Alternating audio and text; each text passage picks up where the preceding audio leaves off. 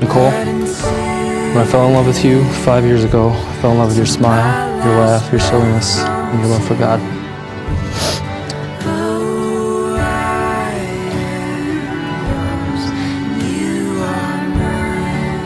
I've loved you from afar all this time, and I can't be happier finally love you hand in hand for the rest of my life. About five years ago, we sat in, on a couch in your parents' basement, talked about marriage for the first time.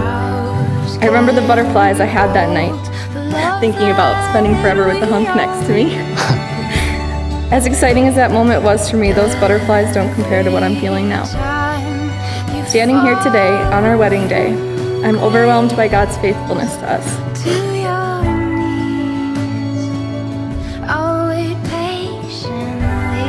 No more drop calls, missed texts, broken video calls. No more visits or limited time. We have forever. I choose you, and I promise to choose you without hesitation for the rest of my life. As Christ gave himself fully for his church, I will now give myself completely to you. I will serve you and protect you from anyone or anything that could ever cause you harm. I will stand by you physically for once.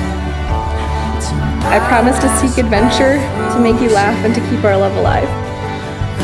I promise I'll be your personal nurse when you're sick, your steady shoulder when you're grieving, and your gentle guidance when you feel lost. As we grow old together, I promise to lead you, to nourish and cherish you, and prepare you for the day that the Lord calls you. I love you.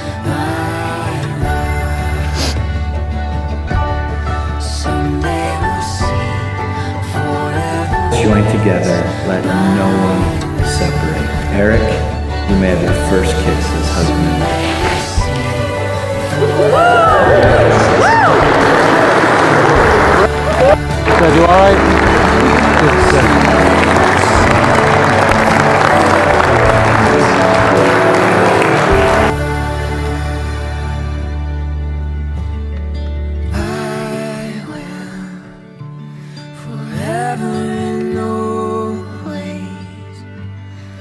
put you before me.